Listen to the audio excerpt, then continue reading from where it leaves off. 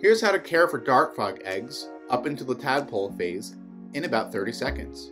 First, when you find the eggs, take them out of the terrarium and slowly move them into the petri dish. Make sure the top of the eggs stay up, that's really important. Now next, grab some water. I use RO water, but many people use tap. And then fill up the petri dish.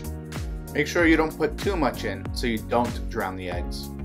Then make sure you're checking the petri dish daily so that it doesn't dry out. Eventually, the eggs will turn into a tadpole. You'll see them moving like this, their tail will be straight. Now it's time to move them to your tadpole tea.